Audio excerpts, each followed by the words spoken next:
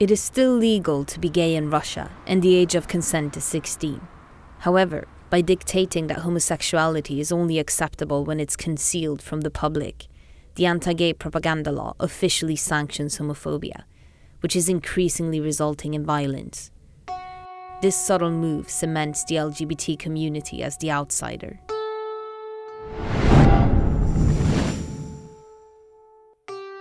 Before the law was passed countrywide, the Centre for Political Information published a report assessing public opinion and warning that unless action was taken, Russia could face a gay revolution.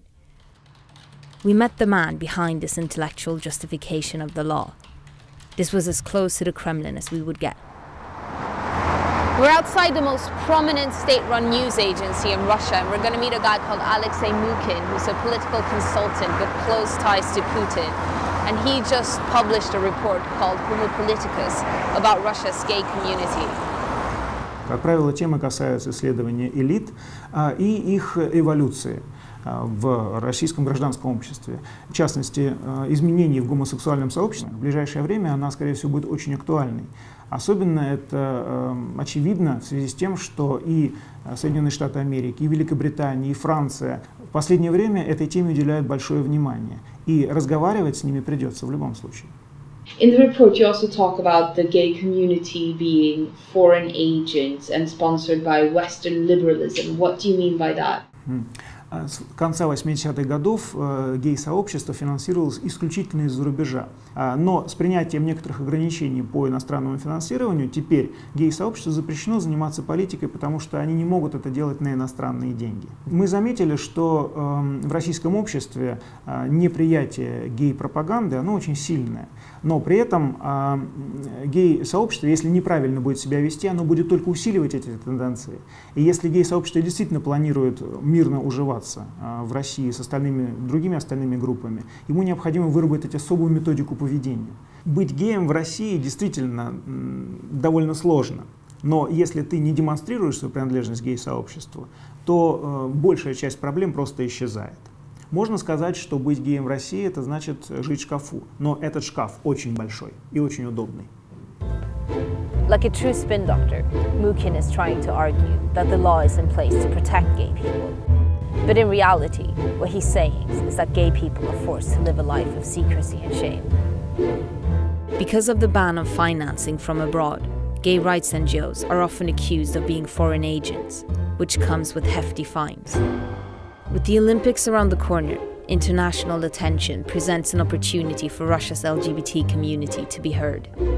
We met up with Nikolai Alexeyev, the organizer of Moscow's now banned Pride Parade, as he was preparing an action by the Sochi Olympics headquarters. Ма, посмотри, какой плакат! Не, посмотри, что это, как нарисовано. Ты вообще посмотри. О, шикарно. Ой, какая молодец. Ой, Ай, отлично, отлично. Молодец, просто молодец. Отличный. Мы хотим э, заявить свою позицию. Она заключается в том, что мы, в принципе, выступаем против бойкота Олимпийских игр. Это только повредит, опять же, тем же самым спортсменам, которые готовились и не смогут принять участие.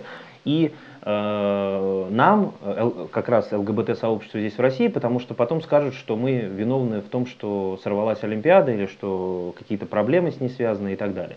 Поэтому мы считаем, что гораздо более эффективным средством является э, выход на э, какие-то протесты, э, прежде всего привлечение внимания к этой проблематике во время Олимпиады в Сочи, то есть это можно сделать самыми разными способами.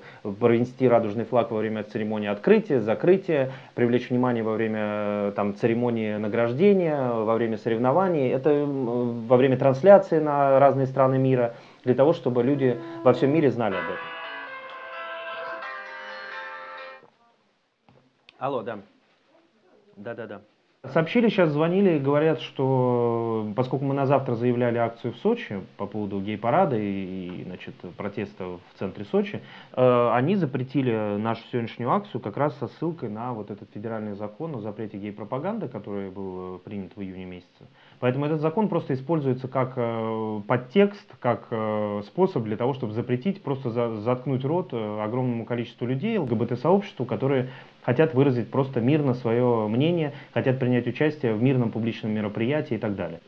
Ну да, чтобы по одному, чтобы, ну, понятно, чтобы не это самое, чтобы они это не восприняли как там массовые мероприятия, потому что одиночные не требует согласования.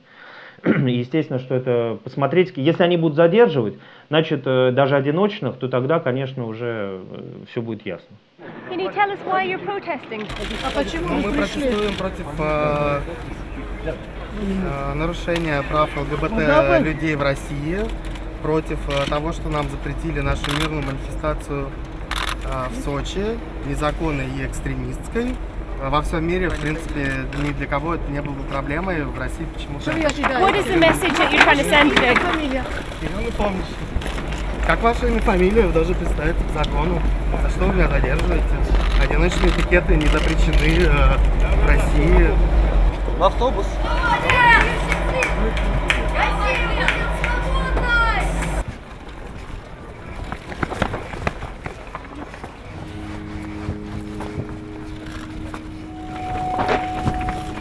Кто вы такой? Кто вы такой? Кто вы такой? Кто вы такой? Предъявите документы. Кто вы такой?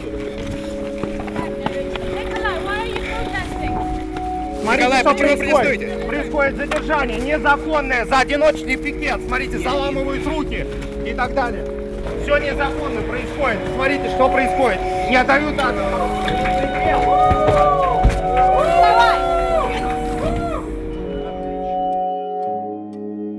Every single activist was arrested and held for five hours for breaking the anti gay propaganda law.